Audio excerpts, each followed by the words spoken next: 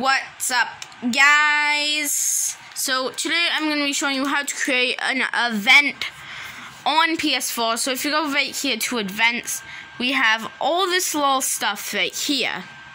Well, today we're going to be showing you how to create events. So as you can see, I have Galaxy Clan Tryout.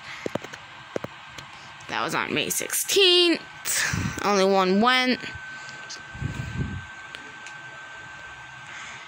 And you can create these events. So as you guys can see, a lot of people have been creating events. So here's how to create an event.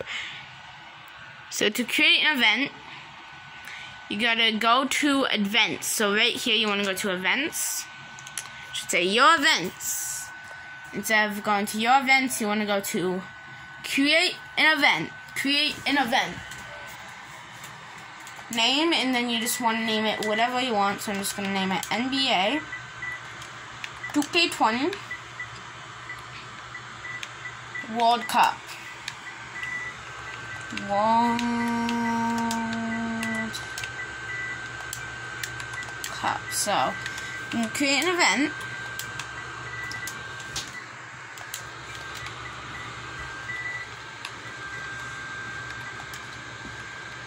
And then you want to have the stat time at least three days after this day. So right now we're just going to click this. You want it at least three days after the day you're at.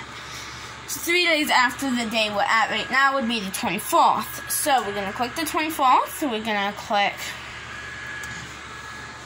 right here. We have 7.30 p.m. which changes up to 2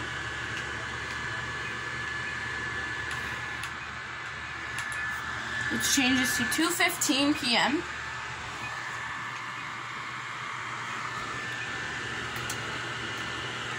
And then you want to save that, and then you want to click OK.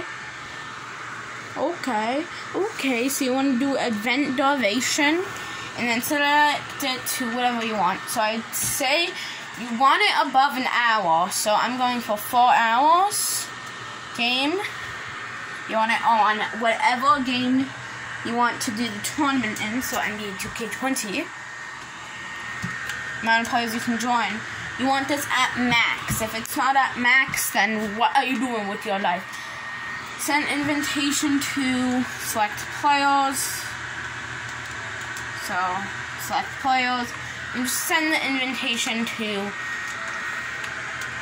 every single one of your friends that has NBA 2K1D. You can see we have 16. You want to at least send 16 invites. You want to click confirm. You want to click create.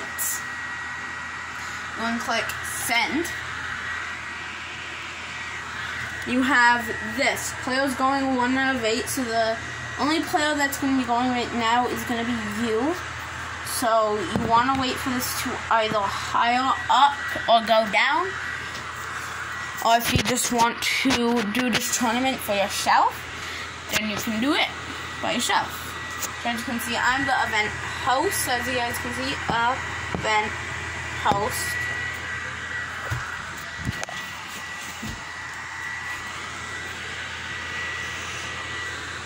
So I hope you guys have enjoyed this very, very helpful video.